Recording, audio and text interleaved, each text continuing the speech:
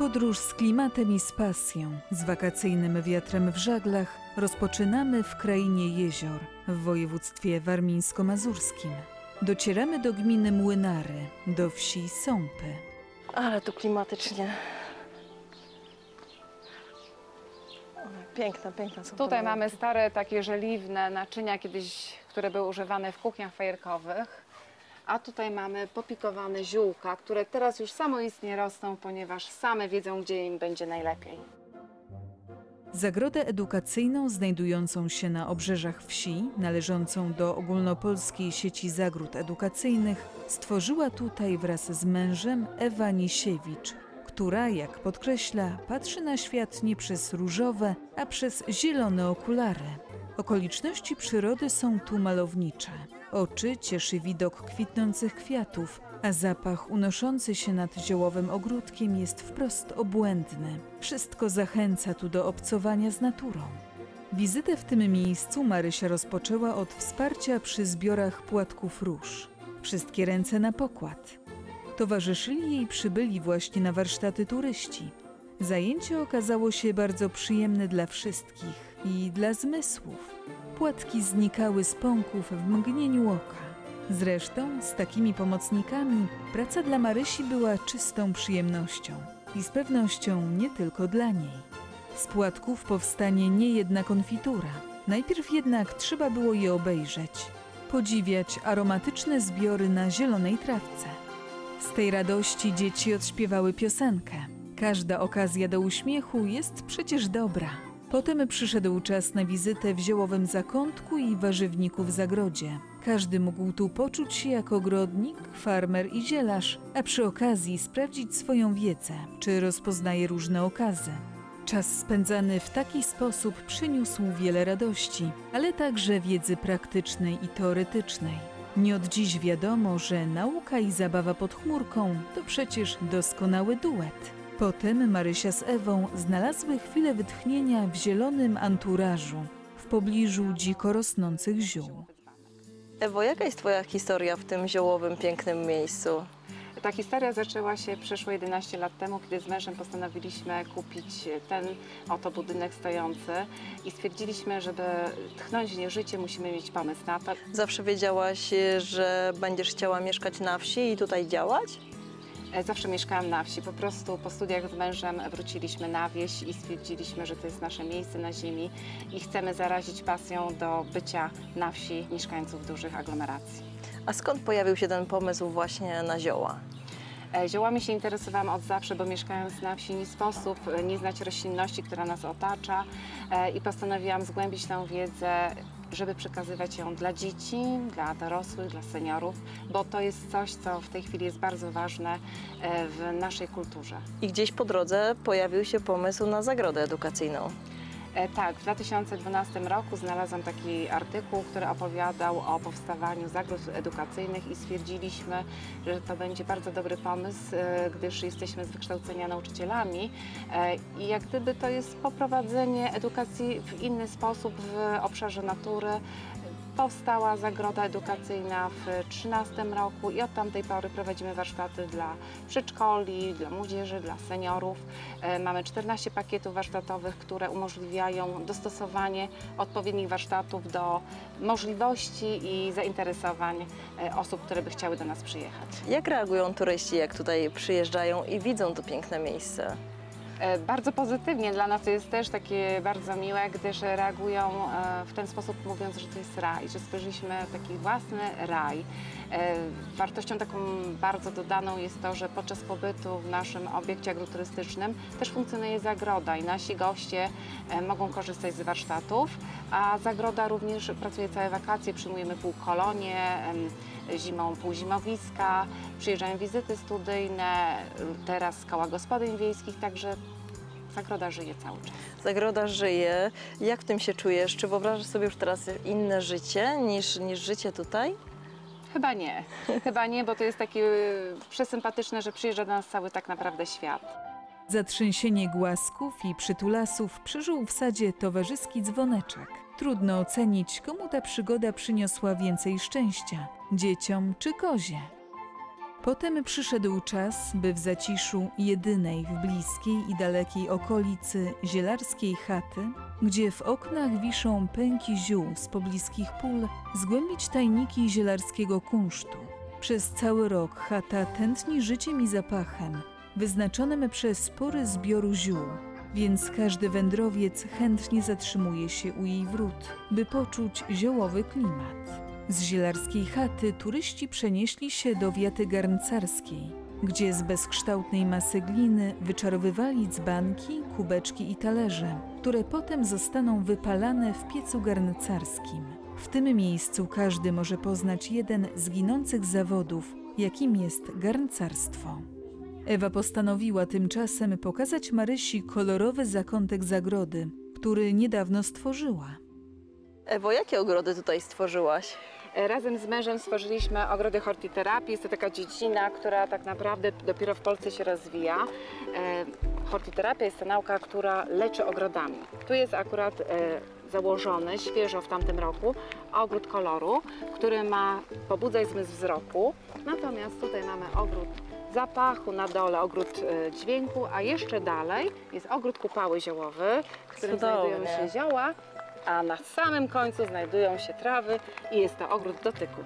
Ty wymyśliłaś cały ten kompleks. E, tak, e, przy projektowaniu nasadzeń e, współpracowała z nami cudowna młoda dziewczyna Basia, która zaproponowała nam rośliny nadające się do tych ogrodów hortiterapeutycznych. Widzę tutaj sporo lawendy, która oszałamiająco pachnie.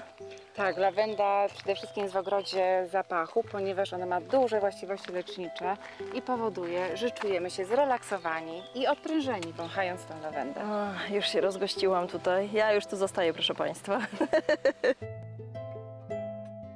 Tutaj jak pięknie, tu kiedyś była stodoła? E, tak, to była kiedyś stara stodoła, do której było strach wejść i w ramach projektu stworzyliśmy wiatę garcarską, gdzie znajdują się koła garcarskie i osoby dorosłe mogą spróbować kunsztu garcarskiego, który wcale nie jest taki prosty, jakby się wydawało na pierwszy rzut oka. Ewa, a kiedy Ty śpisz w ogóle? Bo jak tak opowiadasz, co robicie, co wymyślasz, to wydaje mi się, że Ty chyba nie śpisz. To znaczy śpię. śpię niewiele, przede wszystkim kładę się wcześniej spać i bardzo rano wstaję. E, Nie mam trybu miejskiego, tylko typowo wiejski. Dla mnie 23 godzina to już jest środek nocy. Jak turyści zachowują się tutaj w ogrodzie? Biegają boso, dotykają, wąchają? E, Na razie podziwiają. E, Jest oczywiście możliwość skorzystania z leżaków, zwłaszcza w ogrodzie zapachu, tam są rozłożone. Natomiast tutaj jest przede wszystkim obserwacja, stymulacja. W tamtym roku dla osób niepełnosprawnych prowadziliśmy zajęcia z hortiterapii czynnej, polegającej na e, sadzeniu roślin i e, dekoracji, później doniczek techniką dekupaż, e, czyli to była stymulacja tym, co daje nam natura i stymulacja taka e, estetyczna poprzez przyozdobienie takiej doniczki techniką dekupaż. Każdy, kto tutaj przyjedzie, z pewnością jest dotleniony, ale też odpoczywa, bo zieleń bardzo uspokaja. Gdzie tu nie spojrzeć, jest bardzo zielono. Tak, staramy się, żeby było zielono i żeby również było kolorowo, dlatego wszędzie pojawiły się ławeczki, żeby można było usiąść i podziwiać tą naszą piękną przyrodę polską. I widzę, że też bardzo dbacie tutaj o bioróżnorodność. Wszystko prawie co tutaj rośnie tak dziko to są zioła, e, które mają wiele właściwości leczniczych, ale przede wszystkim są miododajne e, i dlatego powstało tu tyle siedlisk dla owadów pylących, bo gdy ich nie będzie, nie będzie nas. W tym miejscu pachnąca przygoda w mazurskim Eldorado państwa Nisiewiczów się skończyła i przyszedł czas na dalszą podróż z klimatem i z pasją. Docieramy do województwa zachodniopomorskiego, a konkretnie do wsi Dygowo. To właśnie tu, na północy Polski, można przenieść się do krainy pszczół. Rodzina państwa rytwińskich stworzyła tutaj zagrodę edukacyjną należącą do ogólnopolskiej sieci zagród edukacyjnych. W akompaniamencie charakterystycznego brzęczenia dochodzącego z uli, Marysia poznaje to miejsce pełne słodkiego nektaru. Przy okazji również ciekawostki, jak choćby taką, że pszczoły porozumiewają się za pomocą tańca i dźwięków, a taniec tych owadów różni się w zależności od odległości do pożytku. Podczas jednego lotu po nektar pszczoła odwiedza 50-100 kwiatów. Pszczoły są z pewnością niezwykle pracowite i przyjazne, ale do gości, gdy jest wietrznie, podchodzą z rezerwą. A ostrożności nigdy za wiele, więc Marysia zwiedza teren pasieki w pełni przygotowana i ubrana jak na adepta pszczelarskiego przystało. Po Włościach, będących częściowo pożytkiem dla pszczół, oprowadza pasjonat pszczelarstwa, senior rodu, który stworzył to miejsce i przewodnik po pszczelim świecie, pan Czesław. Panie Czesławie, pachnie facelią niesamowicie. To jest pana pszczele królestwo. To jest, pa- pachnie faselia, tu jeszcze z boku mamy dwie lipy, które też da, dodają zapach. No, Faselia to jest e, wiadomo roślina miododajna, piękna, pięknie pachnąca, piękny kwiat i przede wszystkim piękny miodek mamy z faselii. Jak to się stało, że pszczoły pojawiły się w pana życiu? Z pszczołami jestem związany od kołyski. Pierwsze zdjęcia, jakie mam przy pszczołach, to mając 3-3,5 roku, pszczoły były zawsze. Dziadkowie mieli, rodzice mieli dość dużą pasiekę. Ja po prostu, jak kiedy się ożeniłem, w ciągu pół roku po prostu kupiłem swoją pasiekę własną, przeszły na swoje. A co żona na tą pana pasję? Chciała, nie chciała. U nas e, w domu to się już mówi w ten sposób, że to już nie jest pasja, to już jest praktycznie choroba zawodowa. Pan zrobił sobie taki prezent, że właściwie robi pan cały czas to, co kocha. To, to dlatego, że po prostu samemu sobie ustawiamy. Pszczółki są bardzo piękne. Ja to mówię zawsze w ten sposób, że pszczoły nie lubią ludzi nerwowych, więc przy pszczołach można sobie spokojnie popracować, nikt nie przeszkadza, nikt nie, nic nie marudzi. Jest zadowolenie. Jak to się stało, że w pewnym momencie postanowił pan podzielić się swoją wiedzą i doświadczeniem pszczelarza z innymi? Po prostu jest taka sprawa, że jeżeli chcemy, żeby był następca, y, trzeba pracować od małego. Y, syn zaczynał od y, małego, wnuki, które mają dopiero parę lat, już też z nami po prostu przy pszczołach pracują. Nie można tego na siłę, po prostu to musi być w formie zabawy, że pracując coś pomaga, ale się też tym bawi. Wtedy po prostu nie zniechęcimy i miejmy nadzieję, że kiedyś może też to przejmą. Państwa Zagroda Edukacyjna cieszy się sporym powodzeniem. Ludzie cały czas interesują się tymi pszczołami. Jest zainteresowanie bardzo duże pszczołami. Pszczółki zawsze oddadzą. To, co dla, dla nich damy, one dla nas oddadzą. Bo miłość zawsze wraca. Taka jest prawda, taka jest prawda. W zagrodzie z pewnością jest okazja, by uświadomić sobie, jak ważną rolę w naszym życiu odgrywają pracowite córki słońca. Pan Czesław, podobnie jak jego syn, ma o pszczołach ogromną wiedzę, którą chętnie się dzieli. Pokazuje również przybywającym tutaj turystom, zarówno najmłodszym, jak i dorosłym, jak przez lata zmieniał się sprzęt pszczelarski. Panie Czesławie, stworzył pan tutaj taki mini skansen pszczelarstwa z bardzo ciekawymi okazami. Co pan trzyma w dłoni? To jest prototyp najsta- najstarszej miodarki, która została wyprodukowana, y, y, oryginał został wyprodukowany w y, roku 1855 roku przez pana Chruszkę. To jest czeskiego oficera, który pracował w wojsku austriacko-węgierskim we Włoszech. I ten człowiek stworzył pierwszą i w ciągu 20 lat zrobił następnych 20 prototypów Jak się kręciło miód? Proszę pokazać. po prostu to jest, wkładamy rameczkę, tak jak tutaj widzimy. Wkładamy rameczkę. Ten dołek musi być i siła od, środkowa. Kręcimy, miód wywirujemy. Wtedy przekładamy ramkę na drugą stronę, z powrotem wirujemy. Potem ramkę wyciągamy, zlewamy do wiaderka i następna rameczka. Proszę bardzo, można spróbować się pobawić. O, to trochę waży. Troszkę waży. Wow! Dobrze to robię, czy jeszcze pod dobrze, większym dobrze, kątem? Dobrze, trochę energicznie i by było, i by było. O! Ach, ciężka praca. I ile to trwało, tak przy jednej Nie, ramce? no to, to weźmy 2-3 minuty wystarczy, jeżeli już ma się wprawę, to po prostu 2-3 minuty y, y, na drugą stronę i to samo. Zawsze jest łatwiej niż wyciskanie miodu ręcznie. Goście, którzy chcą bliżej poznać pszczeli świat, podczas wizyty w zagrodzie mają okazję zobaczyć różne produkty pszczele, takie jak pierzga i pyłek, w tym różne rodzaje miodu, a także dowiedzieć się o ich walorach smakowych i zdrowotnych. Mogą także spędzić czas w domku do apiterapii. Miejsce służy do inhalacji prozdrowotnym miodowo-woskowo-pszczelim powietrzem. Pod leżanką znajdują się tu plastry z pszczołami. Nie ma z nimi bezpośredniego kontaktu, ale je słychać, co sprawia, że można się zrelaksować. To tylko jedna z wielu tutejszych atrakcji. Nie mogło być inaczej. Pszczoły to miód na pana serce. Tak jest, zgadza się. Tata zaraził pana swoją pasją do pszczół, swoją miłością. Tak, tak. Zaczęło się to powiedzmy od dzieciństwa. Jeździliśmy na wakacje do dziadków. Dziadek też miał pasiekę, około 40-50 rodzin pszczelich. Tato też miał, przy, trochę przy dziadku, trochę przy tacie i ta pasja, pasja się stworzyła. Pamięta pan, gdy był pan małym chłopcem, bał się pan pszczół, z lekką taką dozą nieśmiałości wchodził pan do pasieki? Tak, pierwsze, pierwsze urządzenia nie były przyjemne, ale z czasem, z czasem człowiek się przyzwyczaił i, i było już później okej. I teraz kontynuuje pan tą pszczelarską przygodę całej rodziny i pszczelarstwo naznaczyło pana życie. Tak, tak.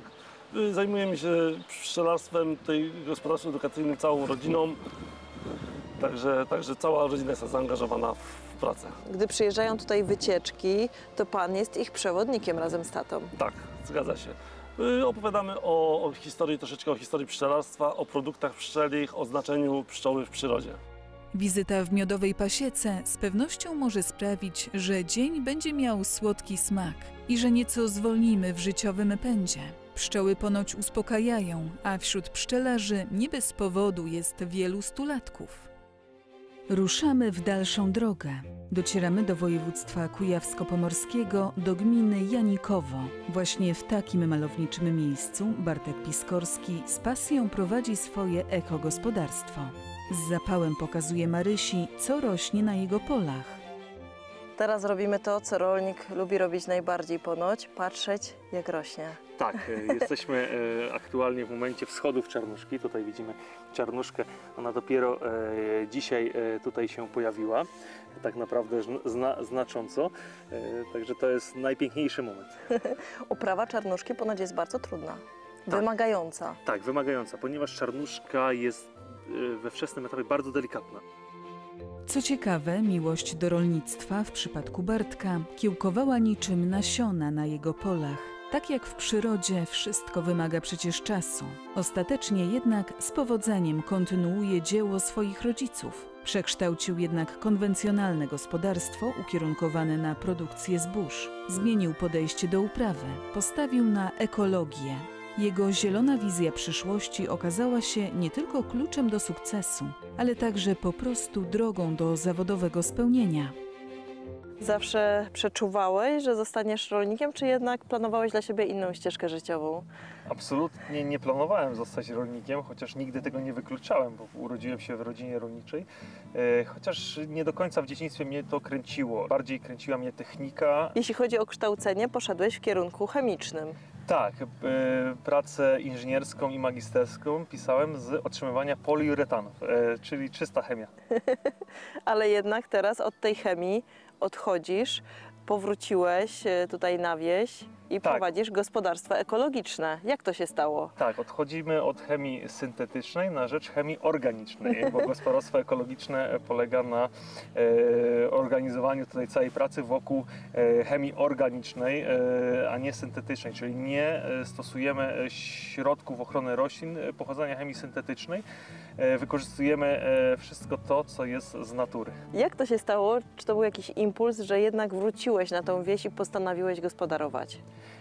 Tata zachorował i e, od tego się tak naprawdę zaczęła e, cała przygoda z rolnictwem ekologicznym, bo zrozumieliśmy, że jeśli chcemy e, mieć produkty najwyższej jakości, e, żywić się tak, taką żywnością, no to warto, aby to była żywność ekologiczna, certyfikowana żywność ekologiczna. Co uprawiacie w sposób ekologiczny? Nasz konik to rośliny oleiste, e, czyli e, len, czarnuszka, e, lnianka. Bywał też wiesiołek, chociaż jest bardzo trudny w uprawie ekologicznej. Także tutaj to, to są e, te rośliny, na których najwięcej, najwięcej poświęcamy energii. E, Dodatkowo również pszenica orkisz, czy właśnie stare odmiany e, pszenicy są bardzo fajne w uprawie, w, gospodarowaniu w systemie rolnictwa ekologicznego. Również żyto, także mamy tutaj ten podozmian bardzo szeroki, również to odrobinkę warzyw.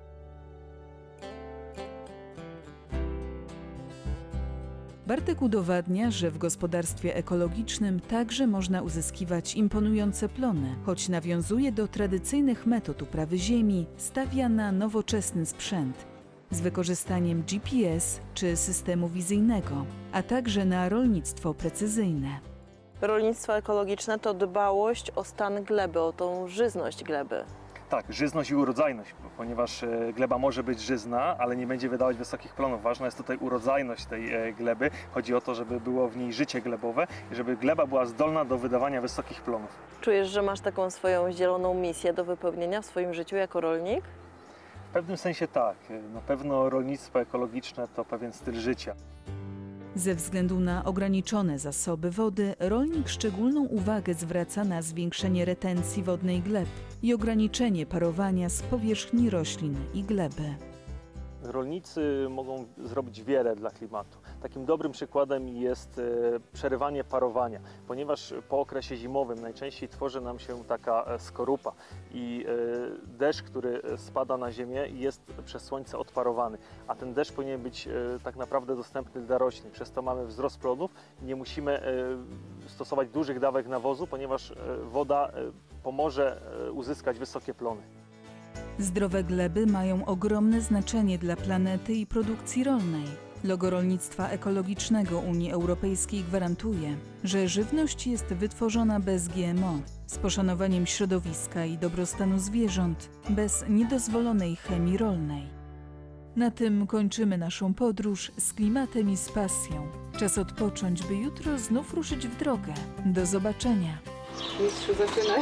No właśnie. Najgorzej zacząć, najgorzej tak przygotowania do rozmowy. Pospłyniemy zaraz. Nie będzie już nic. Waldek! Waldek! Jezu, Nie słyszę. moje uszy. A przepraszam. Zapomniałam.